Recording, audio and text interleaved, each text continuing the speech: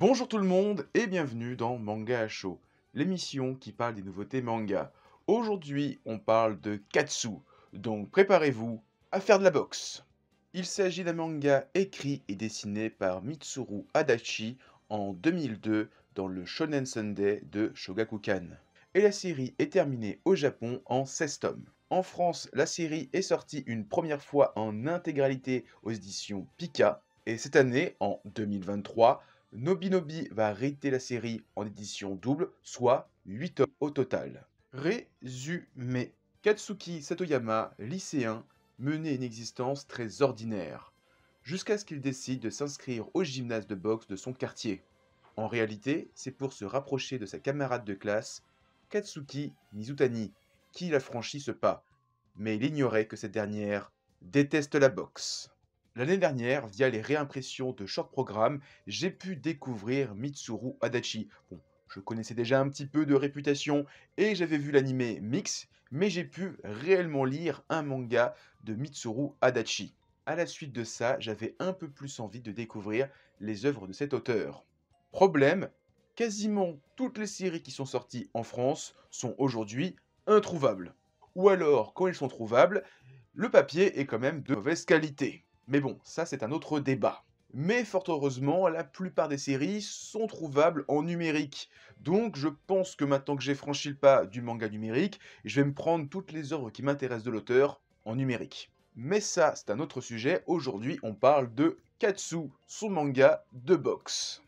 Alors, déjà, on va commencer. Pour ceux qui, comme moi, ne connaissent pas forcément les travaux de Mitsuru Adachi et qui voient en Katsu un nouveau manga de boxe, un petit peu à la Rikudo, à la Black Box, à la Hippo, vous allez déchanter.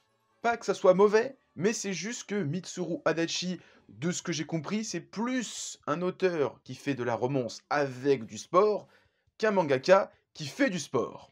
Tout le principe de Katsu, c'est qu'on va suivre deux personnages qui ont le même prénom. Alors, ça ne s'écrit pas pareil, mais ça se prononce pareil. Katsuki avec un C et Katsuki avec un K. Et ces deux personnages principaux sont plus ou moins attirés l'un vers l'autre. Bon, pour le moment, c'est surtout le garçon qui est attiré par la fille.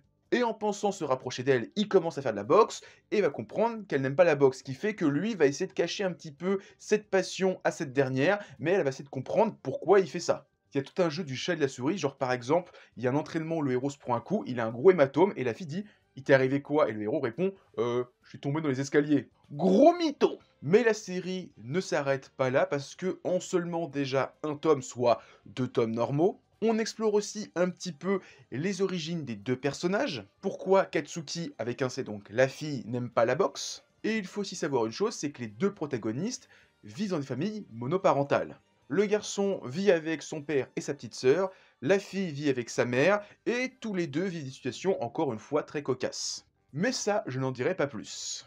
Niveau dessin, alors j'avais déjà vu un petit peu le trait de l'auteur à travers son manga Touch, qui est un manga qui a quasiment plus de 40 ans et qui a 20 ans d'écart avec Katsu. Donc je vois directement une méga évolution entre un manga des années 80 et un manga des années 2000 de l'auteur. Pour l'instant, je trouve ça très propre et j'ai hâte de lire Mix, qui est son manga le plus récent et qui est encore en cours de parution à ce jour, si je dis pas de bêtises. J'étais déjà aussi un petit peu courant, mais j'aime beaucoup les petits délires de répétition de certains gags, notamment le fait que la petite sœur du héros arrête pas de courir et fait tomber un truc, et ça c'est une caisse qui revient régulièrement dans le tome 1.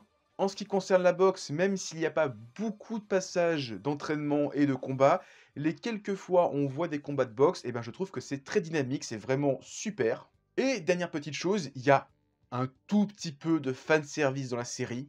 Sur les 350 et quelques pages que compte le premier tome, il doit y avoir une petite dizaine de pages où on voit des filles en petite tenue, mais vraiment juste en petite tenue, on voit juste le soutien-gorge, c'est tout, voire des fois des maillots de bain. Donc voilà, il y a un peu de fanservice, mais c'est pas non plus ce à quoi vous pensez. En conclusion, Katsu, j'ai beaucoup aimé, je découvre enfin une série de Mitsuru Adachi, dans le sens où j'ai lu des recueils d'histoires courtes, j'ai lu un one-shot. Là, je découvre enfin une série longue qui fait normalement 16 tomes, qui ici en fera 8. Donc vraiment, euh, j'ai beaucoup aimé l'aspect romance, le duo de personnages, un petit peu de boxe, etc. Euh, les relations, on va dire, euh, familiales et amicales, etc. A tout, tout, aussi gravite autour des deux Katsu. J'ai beaucoup aimé. Alors, pour ceux qui découvrent l'auteur et qui n'étaient pas au courant, en même temps que Katsu, Nobinobi a édité Boken Shonen, qui est bah, là par contre un recueil d'histoires courtes. Donc si vous voulez explorer encore plus de Adachi, vous avez ça. Ou alors si vous êtes un petit peu frileux, commencez par ça et après lisez ça.